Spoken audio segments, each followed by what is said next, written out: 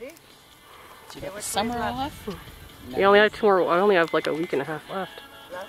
Good. Good girl. Good girl. It does. All right. Right. Good girl. Right. Good. See, we did all those circles. Now we're fu- professionals at going. Oh. Oh. Good girl. Which way? Left. Left. Good girl. So when do And you go to Tabor? Oh. What? When do you go to Tabor? Saturday. Wow. Right? Good. Good girl. Very nice. Good job. Only horse I ever did this on was Shakira, and certainly not a two-year-old after 45 days. I guess, right? Good girl. Can we go around that pylon? Good girl.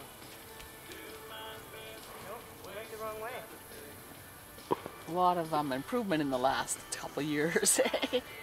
Good girl. Not the train wrecks they used to have. Good girl. Now straighten out, straighten out. Go straight. Go straight. See, I can't get her to go straight now. You have to use your leg though. If you want her to go, you're gonna have to use your leg in there to guide her straight. Which means using both legs to kind of keep her. Yeah, both legs means go fast. Hey, hey, hey, hey, hey.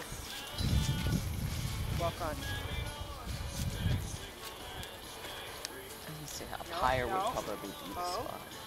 You back up. Well, you use leg one leg at a time and bump her a little bit. One of the other one she wants to turn. Oh, we could do our circles like that. Back up. Good. Back up. Good. Back up. Nope. straight line. Straight line. Ah, ah, ah, ah. BB. Don't fuck around. Straight line. Back up. Good.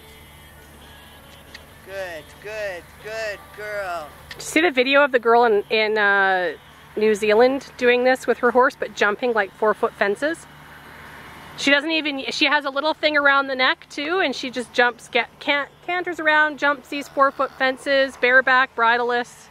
Ever since I